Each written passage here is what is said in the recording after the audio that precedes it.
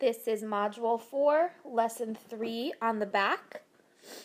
Each square is one square unit.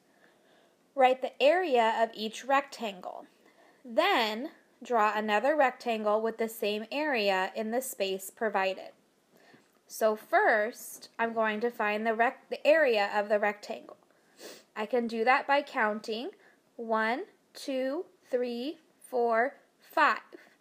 There are five squares in the first row, so I'm going to skip count by fives. Five, ten. The rectangle has an area of 10 square units. Next, I need to draw a rectangle that has the area of 10 square units. I have two different choices.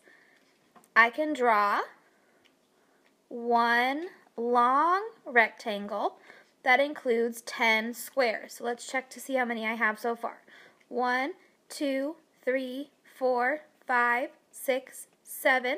I need to keep drawing. 8, 9, 10. That would be a rectangle that has the area of 10 square units. It is the same area, but a different shaped rectangle. Rectangle B has one, two, three um, squares going across. So I can skip count. Three, six, nine. This rectangle has the area of nine square units. So I need to draw another rectangle that has the area of nine square units if I count three across and three down, that has the area of nine square units. However, it looks the same as area B, and I need to find a different area.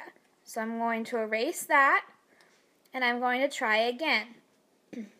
if I think about multiplication, I know 3 times 3 equals 9.